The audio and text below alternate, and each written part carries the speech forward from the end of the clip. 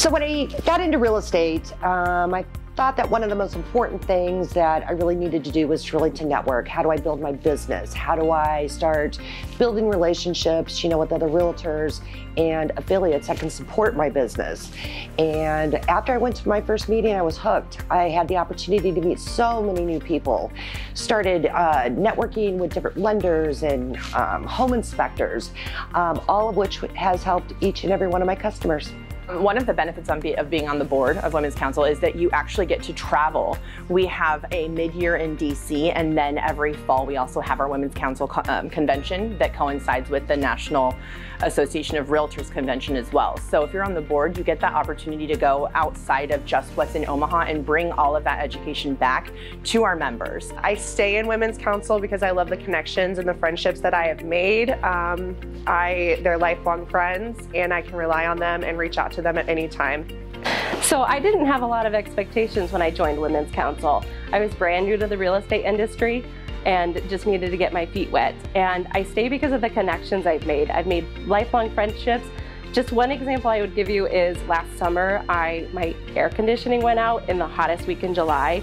And I reached out to a couple different people I knew who were really connected and I had somebody there within 24 hours. And this HVAC guy is fantastic and he's now my go-to for everything. And that's just one example of the connections that you make in Women's Council. So with the Women's Council of Realtors, we have so many opportunities to grow um, professionally. We have uh, what we call the Performance Management Network designation. And those are classes that I was able to take on the national level when I traveled.